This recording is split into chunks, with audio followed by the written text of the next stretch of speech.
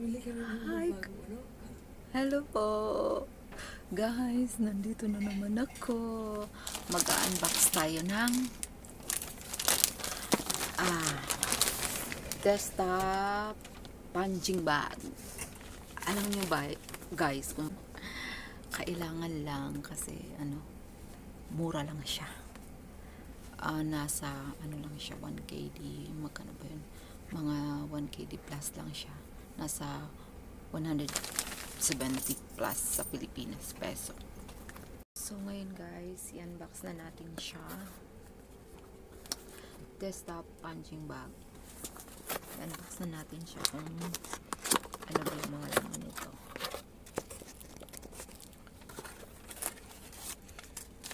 Instruction. Instruction. Is. the punching bag. Then what is this? The sanction cup base. Ito yung the pump. At saka ang needle nandito. Ayan. Ito yung the pump. Nandito yung needle. Guys. Yung needle. Tapos, ito yung steel spring niya. Steel steel so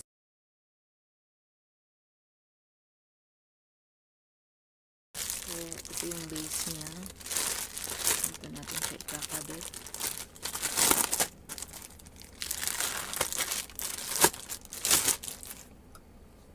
Yan. At saka ito yung bag. Punch bag. Dito yan. Kailangan nakadugtong yan siya. Yan. Kaya natin yung gawin guys. Parang may butas yung ano natin dyan. So, basahin natin yung instruction. Anong dapat gawin? So, nandito nga ang well, ang needle niya is nandito so ito guys. Unique siya kasi nakatago talaga yung needle niya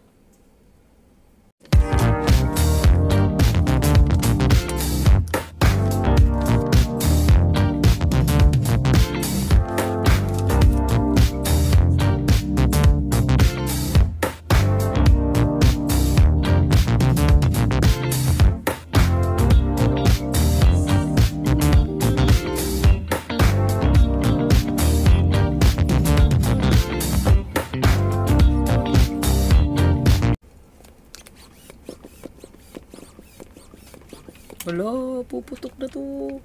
Wala, wala. Hanggang, hanggang saan ba to? Puputok. Tama na ba to guys? Ah, not, not overinflate daw. Do not overinflate. Oh, this is I think enough. Yes, it's done. Okay na siya guys. I love it. Tcharam! Para lang siyang saranggola. Laruan. Tapos ito. What's next? Ipasok muna natin tong ano niya, spring niya. Yung spring niya, ipasok muna natin. Paano ba to? Ay, ito. Ba't may ganito? Ba't may ganito? Ano to? Ano to guys? Oh.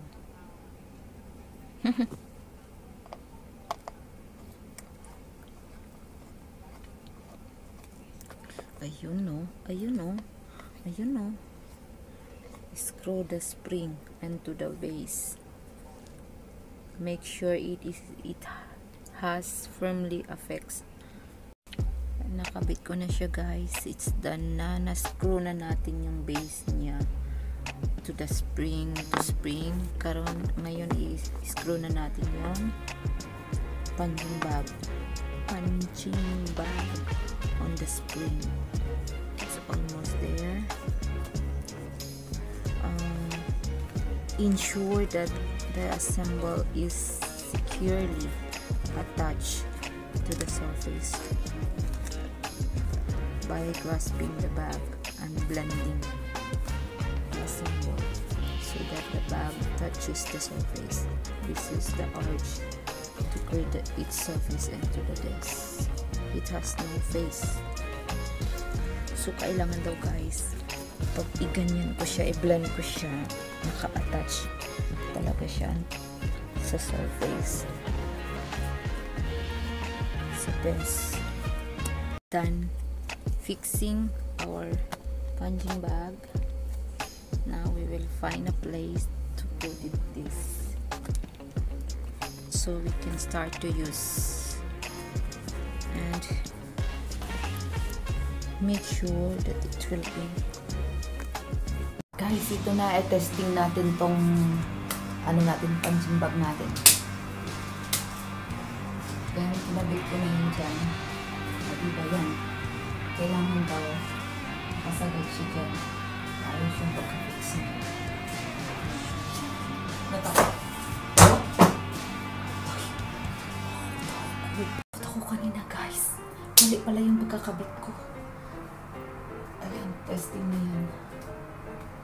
Ayan okay na siya. Siya na okay na siya. Simula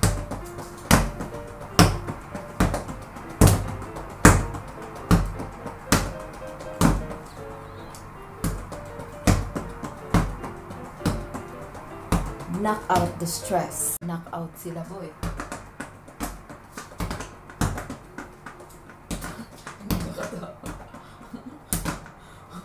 Ayos ba ito magkakabit?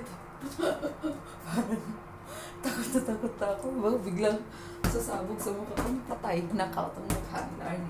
Ayan guys, ang ang benefits pala nito sa punching bag, it's enhance aerobic fitness, core stability, coordination, power, stamina, and endurance. It improves upper body strength and strength, strengthening bones and ligament. Enhance boxing techniques, increase self-defense skills. And so, uh,